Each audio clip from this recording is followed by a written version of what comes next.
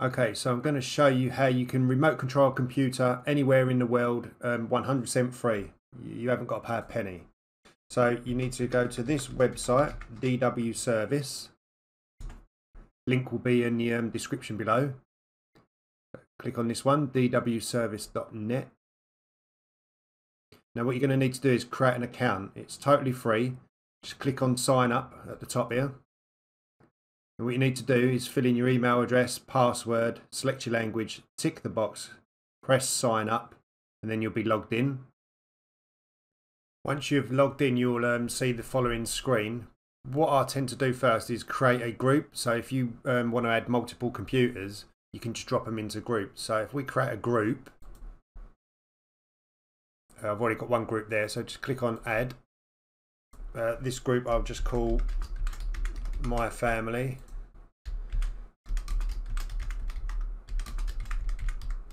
Give it a description, click confirm. Okay, so that's the group confirm. So the computer that I'm going to remote control is going to be my son's computer, which is upstairs. And what I'll do, I'll add him to this group so I know he's a family member. Once you've created the group, if you just click on the home button, and then what we need to do is select agents. And this is where we're going to add the new PC. As you can see, I've already got three PCs already added. So we click the plus sign we're going to put them in the group that I just created called My Family. Name of the computer, I'll just call it my son's PC for now. PC upstairs. So what I need to do now is click on confirm. This has now added my son's PC upstairs, but what I need to do is go and um, install this client on his PC and then input this code, which is what I'm going to show you now. Okay, so I'm now on my son's PC. Um, we now need to go to the same website, which is DW Service, dwservice.net. From the home page, we just got to install the client on this PC. So we select download,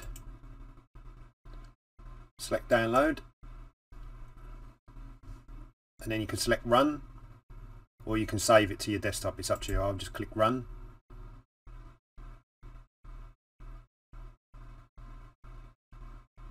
This is now installing the um, software.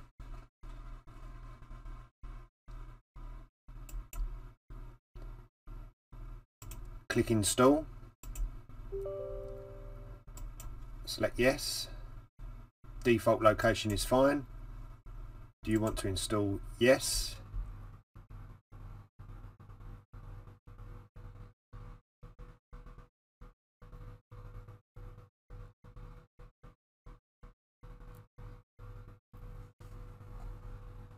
Okay, so now this is installed, we can now select the option to enter an installation code. So select next. Okay, so what we need to do is enter the code that was um, from my machine, and that code was 238018481. You don't have to put the little um, dashes in between the numbers either. Select next. Installation has been completed. Select close that's it. I'll now go back to my PC and we, we'll be able to see that you can remote control this computer now. Okay, so I'm back on my PC now. That's the installation code that we just entered on my son's PC. So if I refresh this now, it's now disappeared because it's not ready to install. It's been done. So if I go to available, and there you go. You can now see my son's PC. It now says available. So now to remote control this PC, you just select the name be presented with the um, following screen. And all you want to do is we want to remote control the screen so let's have a look. Just connecting now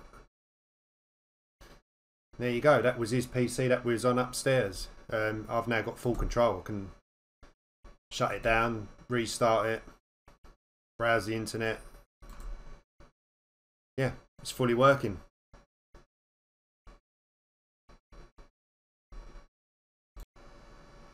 So you've got a few options along the top. You can change the quality, fit to screen. Um, if the person's got multiple displays, you can look at their second monitor. You can um, make it full screen. and then the um, menu bar goes to the left hand side there so we can exit full screen uh, yeah that's it so basically once you've installed the client you can remote control that PC um, I'll come off of this computer now just by pressing this X we're now back to the um, main page um, I'll just X out of this. And there you can see the PC that's available. Um, the ones that are not available just go to all.